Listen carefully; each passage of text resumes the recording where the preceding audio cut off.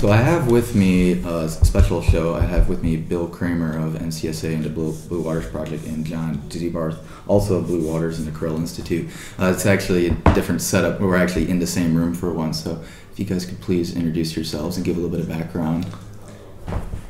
Uh, I'm John Ziebarth with the Krell Institute, and I work uh, help the uh, Blue Waters Project, uh, especially with respect to the Great Lakes Consortium for Petascale Computing, which are the 28 uh, universities and other educational institutions that uh, came together to support the proposal that went to the National Science Foundation for the Blue Water System.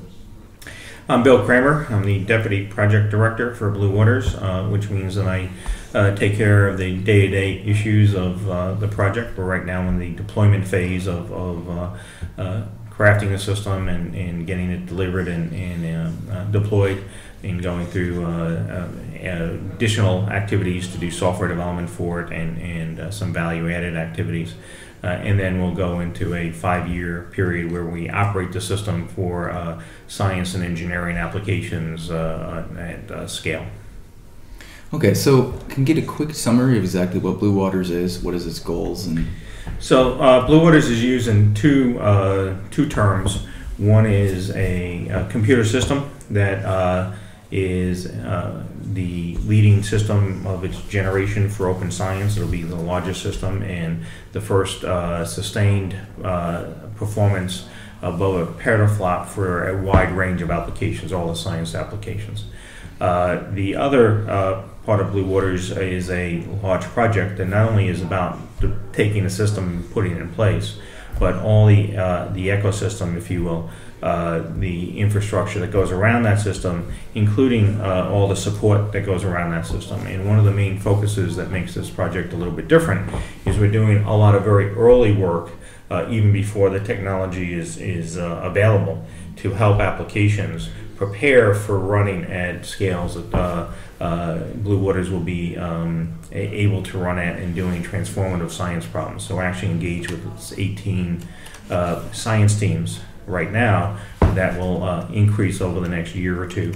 But we're, we're working with them on, on their single CPU performance. We're working with them on uh, how they uh, their code scale, re-engineering things, working on I/O bottlenecks, other types of bottlenecks, and also improve methodologies in terms of uh, the programming environment, the tools that they use to uh, uh, work to understand uh, their, their applications, modeling of their applications uh, in, in a, more formal manner, and a variety of other support activities. So when the machine comes into existence at full scale, uh, all these science teams are able to start running their real science rather than spending six months or a year tweaking and tuning and trying to figure out what to do. So we're actually doing that upfront work uh, now through via simulation and modeling and, and, other things, and eventually access to to uh, hardware uh, in order to get uh, this, helping the science teams get ready for such a, a, a, novel system.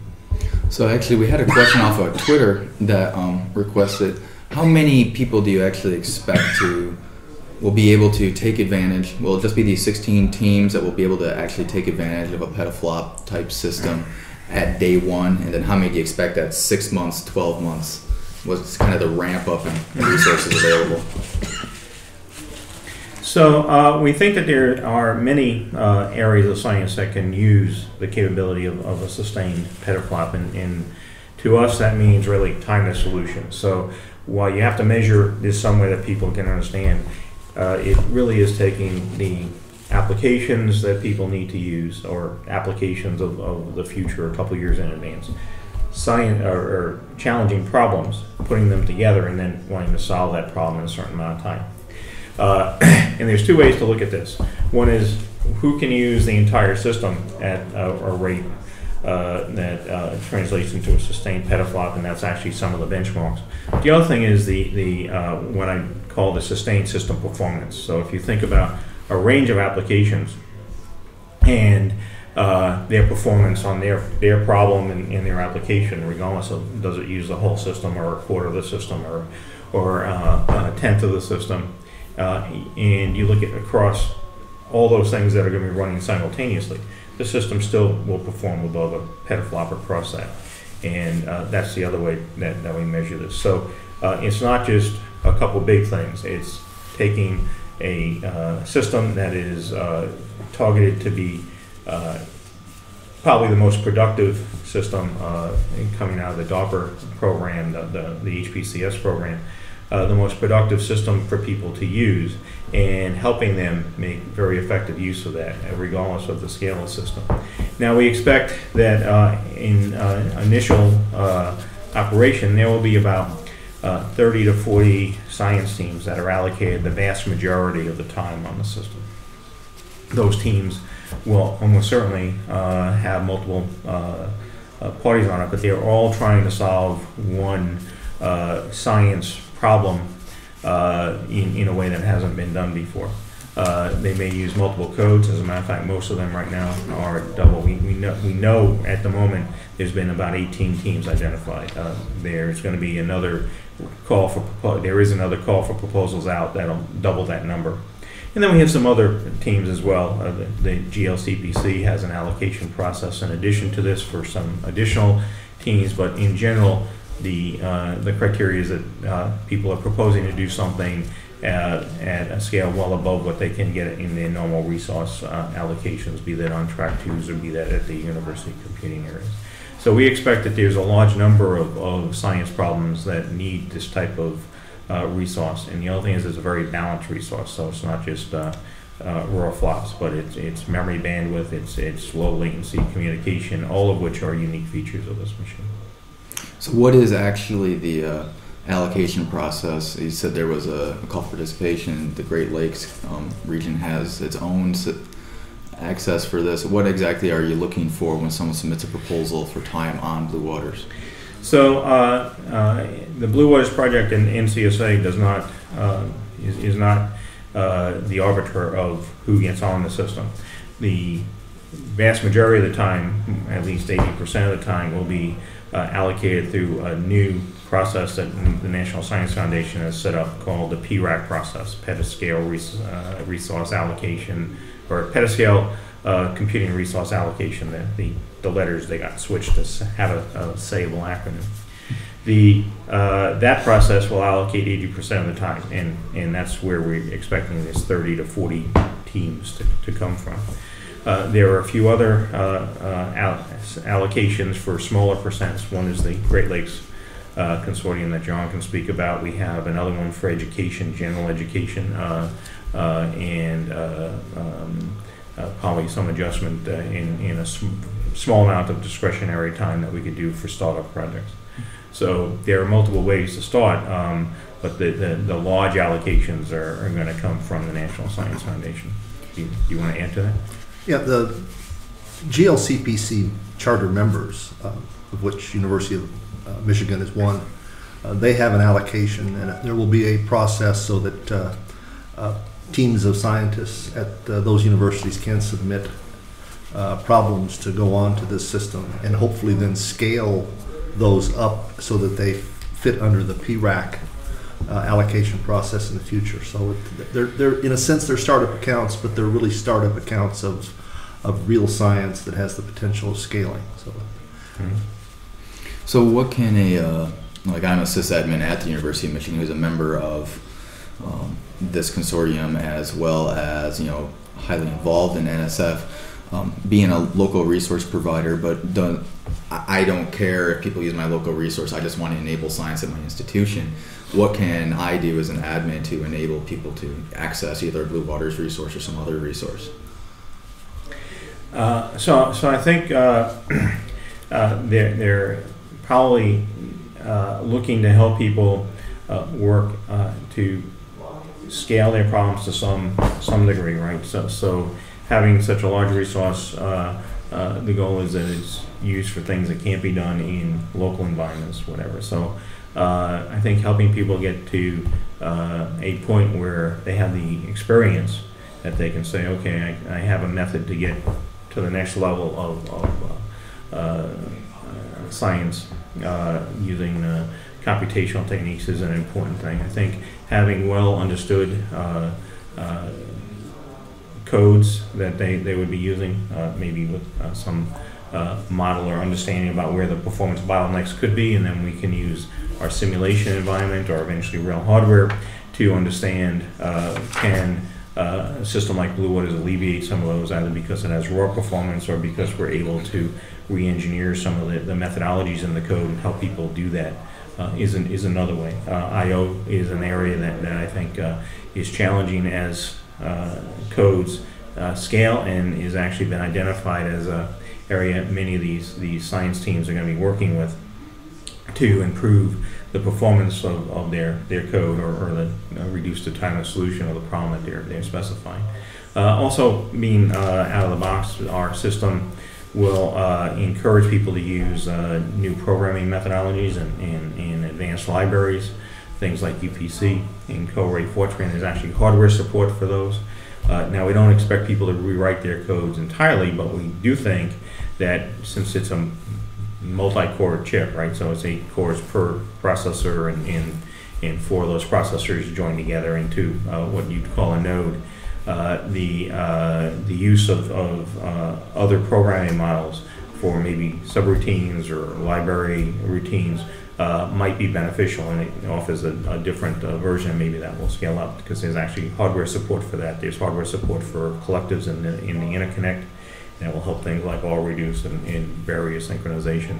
Uh, so um, uh, helping people get to, to a point where they're capable of going to the next step uh, in terms of, of, what their science problem is that they're trying to solve, as well as uh, the, the method that they use uh, would be, I think, very useful. Uh, we do have some collaborations. I mentioned the project is uh, involved very much with uh, adding value above just deploy this big system, right? Mhm. The whole idea is the big system, uh, we want people to find it uh, useful and that they're effective in using it. So we have about 10 or 12 collaborations right now that uh, uh, involve the programming environment, but also involve system software. Uh, and they range from uh, new ways of, of managing the uh, I/O on the system, uh, from the system side, uh, transparent movement of I/O from online storage to nearline storage and back, information lifecycle management, uh, parallelization, uh, uh, parallel tape um, uh, for performance as well as reliability, a variety of different things that we're doing in the I/O structure of the system that, that will be novel. Helping uh, do that and, and being involved in those collaborations, they're, they're open and most don't require uh, proprietary information to be exchanged between uh, the collaboration and IBM.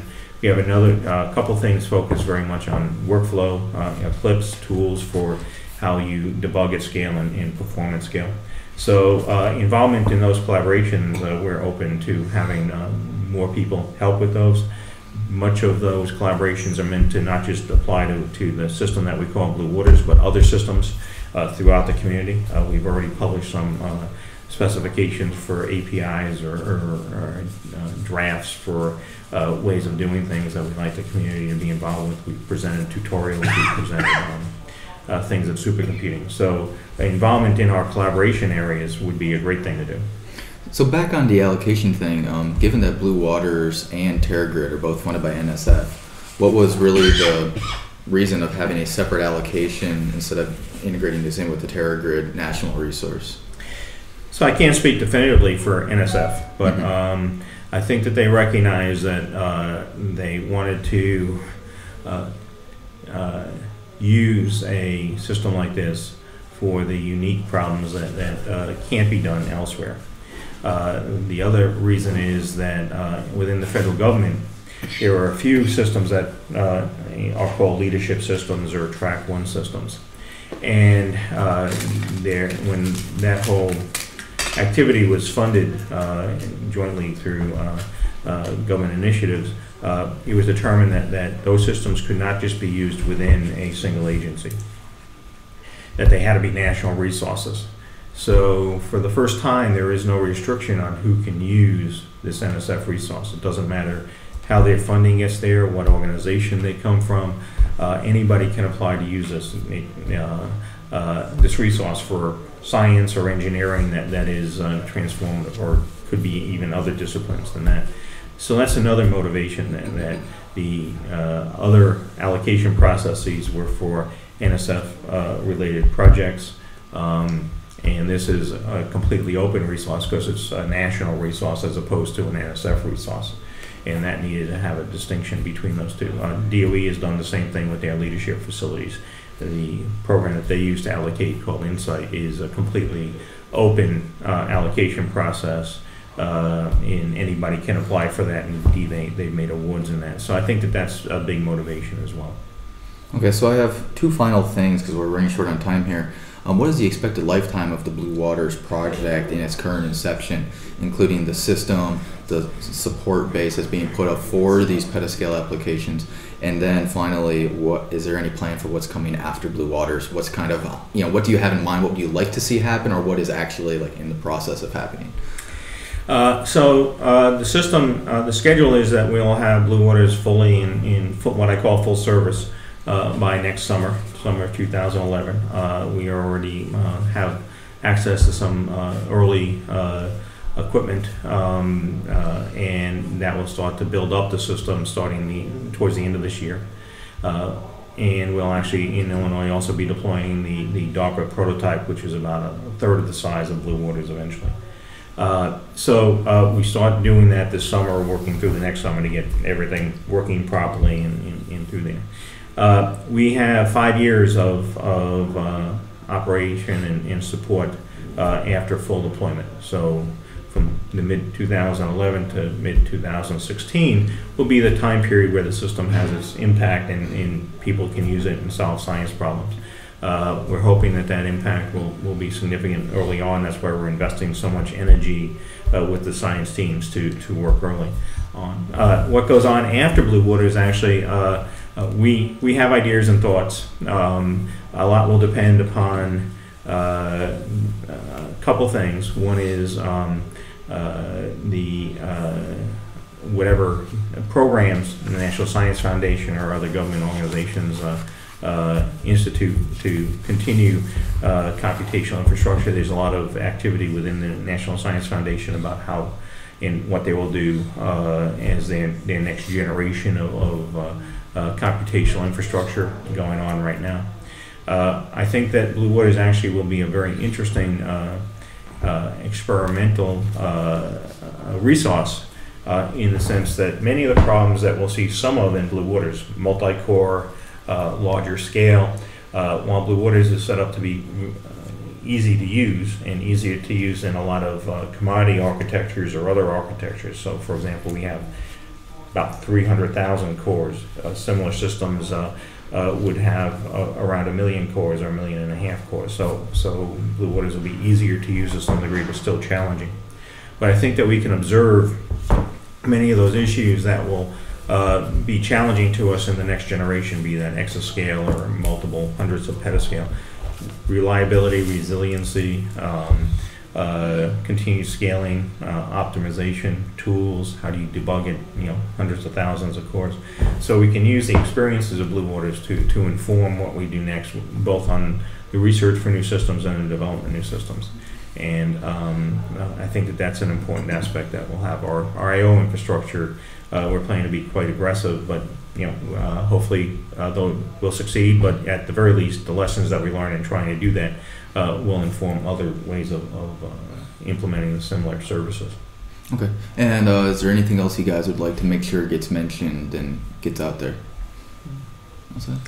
Well, so so uh, I think uh, if people uh, are interested, they should uh, contact us. We have our website at, at NCSA, and uh, either to participate in the collaboration work or to actually apply uh, for science projects through NSF or, or, GLCPC or other mechanisms. And hopefully, you'll be hearing more about us as the system actually comes into existence and uh, uh, it will end up with uh, a lot of impact on open science because it's completely open to everybody. Okay. Thank you very much, Bill and John. Thank you. Thank you.